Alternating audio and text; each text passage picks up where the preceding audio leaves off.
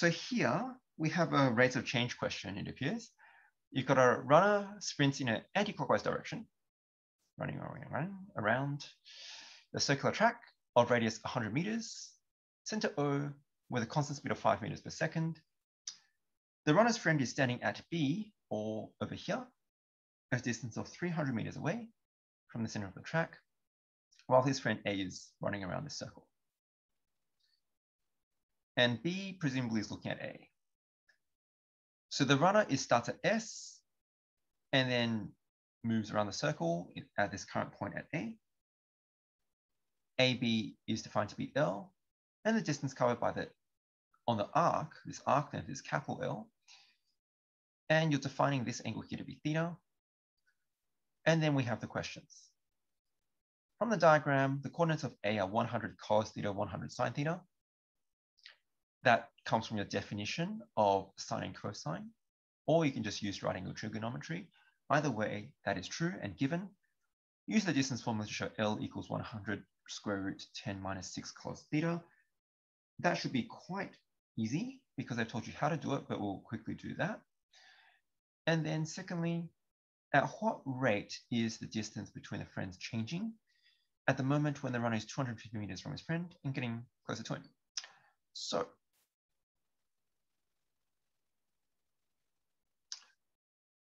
with the diagram in mind, they ask you use the distance formula. Now, L, lowercase l, is the distance AB. Now, A, we know is 100 cosine theta, and B is 100 sine theta. Whereas B, where the center of the center, center of the circle is the origin, is therefore going to be 300, 0. So L squared must equal this um, 300 minus 100 cos theta all squared plus, well, 1, 0 minus 100 sine theta all squared, which is 900 minus, well, 60,000 cos theta plus 10,000 cos squared theta plus 10,000 sine squared theta. Well, of course, sine squared plus cos squared is 1. So that gives you 10,000.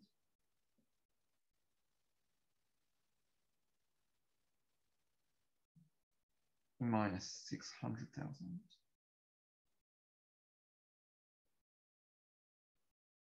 Cos theta. Of course, this was not 900, this is 900,000, uh, 90,000. Which then means, of course, that when you add 10,000, it's 100,000. Which then makes a bit more sense. You can then take out 100,000. And then that leaves you with a square root of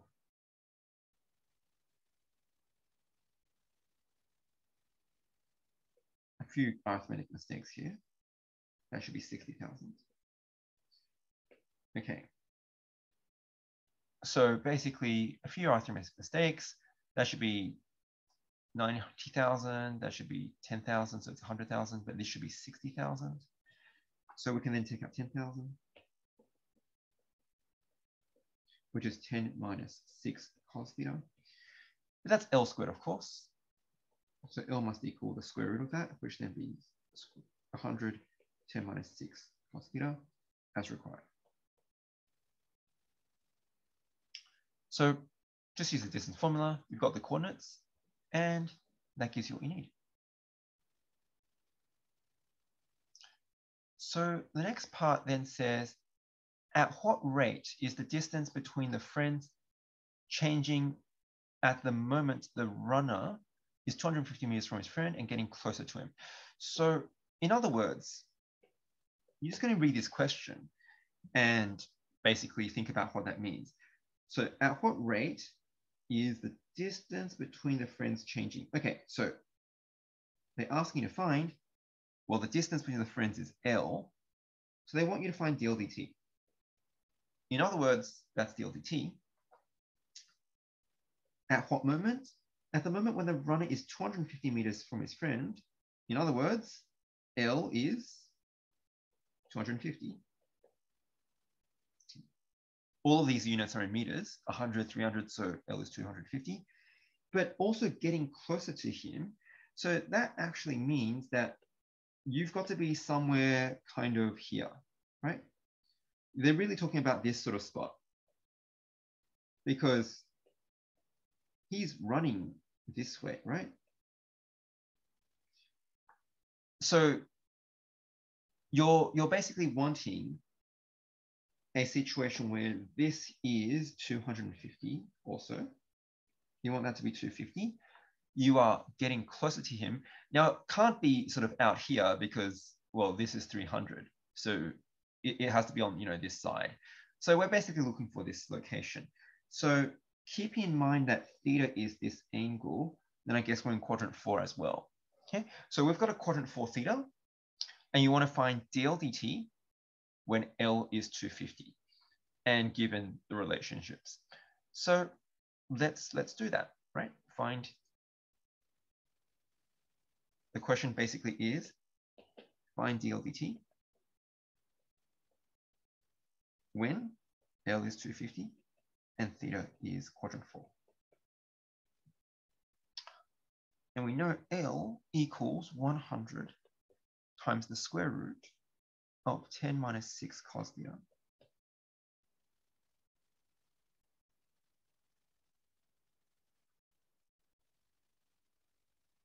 Okay, so for dl dt, we're going to need to have 100 so we'll write this as 100, 10 minus 6 cos theta to the power of a half.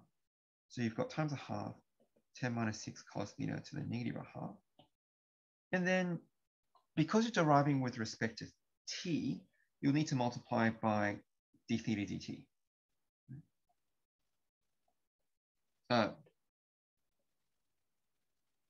you, you have to derive the inside as well. So that's going to be negative 6 times the derivative of cosine is positive negative sine. And then you need to multiply by d theta dt. All right. In other words, this is this is dl d theta. Right, using the chain rule, this is dl d theta. And we need to find d theta dt. Now, we'll need theta when L is 250. So we'll need to kind of solve that geometry question.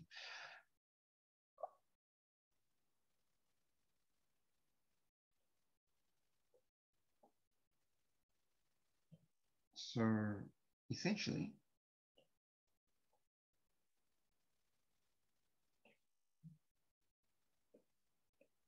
OB is 300, AB is 250 at some point. And we recognize that the radius is 100. And we recognize that theta is this angle. So with that in mind, let's call this angle alpha. And let's solve for that. So we we've got all it's we've got a triangle and we've got all three sides. So we can just work out cosine alpha using the cosine rule. So cosine of alpha must equal 100 squared plus 300 squared minus 250 squared all over 2 times 100 times 300. So this is where your calculator will be very helpful.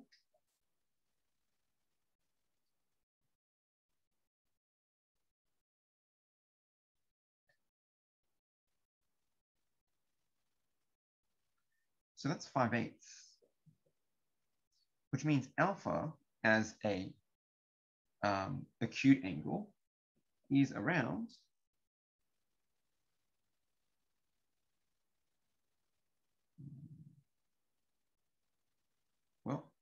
is around 0.895 radian. But of course, as an, you know, as an exact value, um, theta would equal 2 pi minus cos inverse of 5 of 8, because of course it's reflex. which is going to be around 5.39 radian. All right, so keeping that in mind, we've now got our theta. Now, we also want to have an idea of what d theta dt is.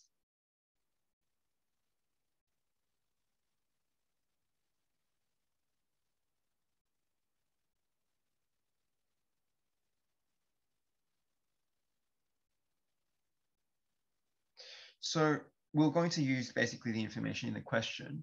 The information in the question tells us that the runner runs at a constant speed of five meters per second.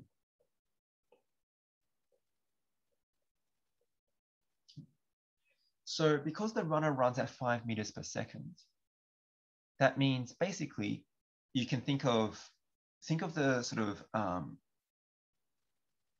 so we'll use this diagram.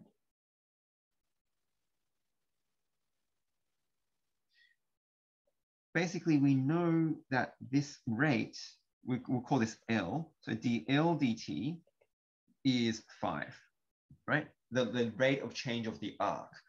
So d theta dt, uh, I'll just do it in one go. So if we think of theta as this angle, which is what it's defined to be, and this L, which is what it's defined to be, then we know that dL dt equals positive five meters per second.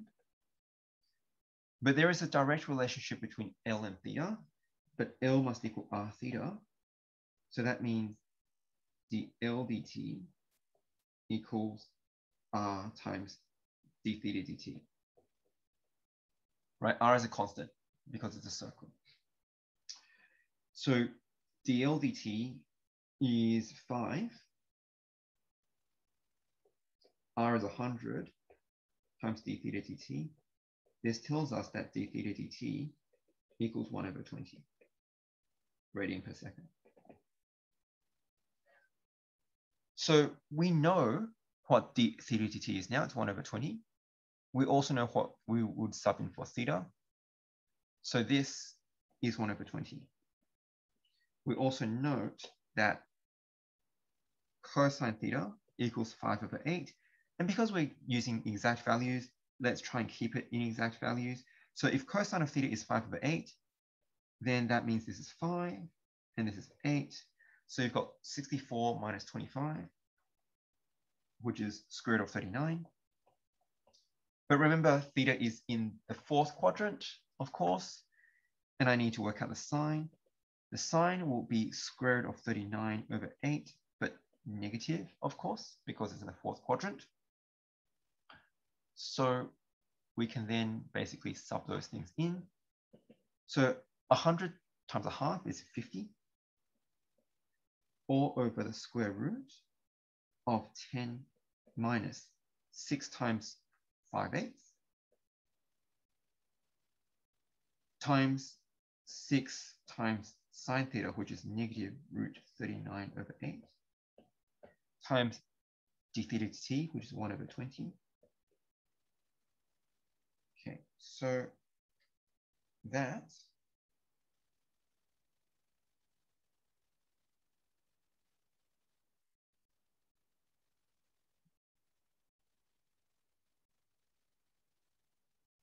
is going to be 15 over 8 times negative root 39.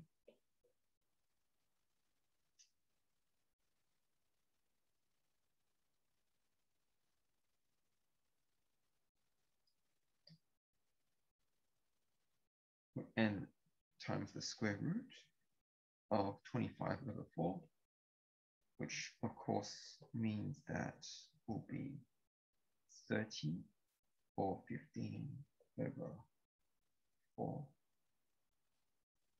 that's fine. 15 over 20 times negative root 39, which means it's negative 3 root 39 over 4 meters per second. They didn't say what form they wanted it in. So you might find that we will approximate it. So it's going to be negative 3 root 39 over 4, which is negative 4.68 meters per second. Note that it is negative because, well, the distance is getting shorter. So that makes sense. And that's what we're going to get. And that's how you do the question.